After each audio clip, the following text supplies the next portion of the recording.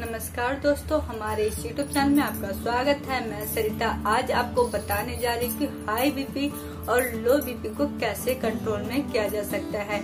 इसके लिए बहुत ही आसान और रामबाण उच्चार लेकर आई हूँ आपके लिए। कई लोगों को हो सकता है इसके बारे में पता भी हो तो भी, ऐसे भी कई लोग होंगे जिनको इसके बारे में सही जानकारी नहीं होगी। तो उन्ही लोगों के लिए ये वीडियो है। दोस्तों हाई बीपी और लो बीपी को कैसे कंट्रोल में किया जा सकता है? तो आइए वीडियो को शुरू करते हैं। तो यदि आपकी बीपी लो है तो इसके लिए मैं आपको बता दूँ कि आपको क्या करना है। आपकी बीपी लो है तो आपको नमक वाला पानी यूज़ करना हाँ। आपने सही सुना नमक वाला पानी। तो आप लोग कह रहे होगे कि हमें तो इसके बारे में पता है, लेकिन आपको इसके बारे में सही जानकारी नहीं होगी। आपको कौन सा नमक यूज़ करना है, ये बहुत ज़रूरी है।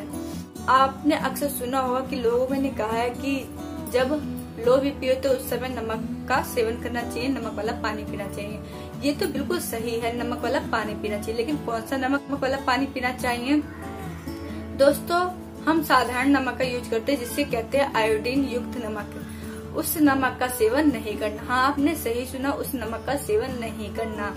मार्केट में आयोडीन युक्त ही नमक बिक रहा है बहुत धड़ल्ले से। ये नमक सही नहीं है, इसे समुद्री नमक भी बोला जाता है।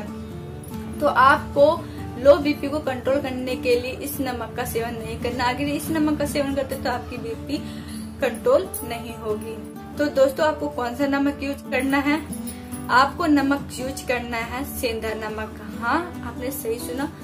दोस्तों, आपको नमक जो बीपी को सामान्य बनाने के लिए चाहिए, वो है सेंधा नमक, जिसे आप बोलते हो व्रत वाला नमक। तो उस नमक का प्रयोग करना है। आपको मार्केट से बहुत ही आसानी से सेंधा नमक मिल जाएगा। उस नमक को लेना है और उस नमक को एक गिलास पानी में आधा चम्मच डाल के मिक्स करके उसका, उस पानी को पीना है। आप दिन में ऐसा तीन बार आराम से कर सकते हो। और आपको ये पानी घुट घुट करके पीते रहना है। सेंधा नमक मिला के। साधारण नमक डालोगे आयोडीन युक्त नमक डालोगे तो ये कभी कंट्रोल में नहीं होगी आपकी बीपी तो इसके लिए बहुत ज़रूरी है कि आप सेंधा नमक का यूज़ करें। दूसरा, आपका बीपी हाई है तो उसको कैसे कंट्रोल में किया जा सकता है? तो दोस्तों, आपको करना क्या है?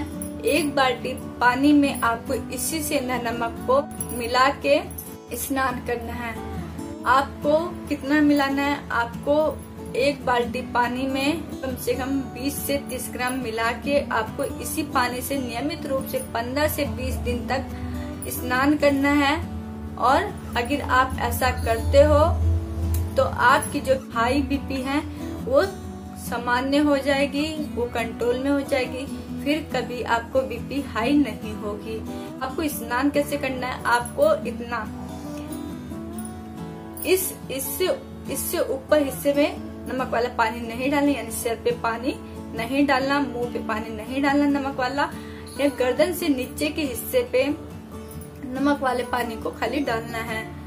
तो आप इस बात का ज़रूर ध्यान रखें कि आपको सिर के ऊपर पानी नहीं डालना नमक वाला, आपको गर्दन से नीचे डालना है नमक वाला पानी, और आपको लगातार ऐसा पंद्रह से बीस दिन तक करना है। आप सुबह के टाइम जब स्नान करते हो, तब आपको ऐसा प्रयोग करना है और आपको शाम के टाइम आप स्नान करते हो, तब आपको ऐसा करना है। और आपकी जब बीपी लो है तो उस टाइम आपको एक गिलास पानी में आपको आधा चम्मच सेंधा नमक डालना है या उससे थोड़ा सा कम भी डाल के आप उसका मिक्स करके घुट घुट करके आपको पीना है।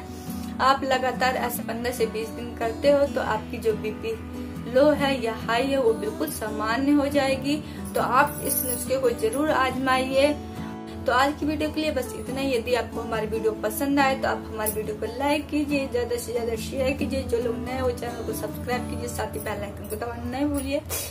अब मिलेंगे नई वीडियो के साथ। Next time.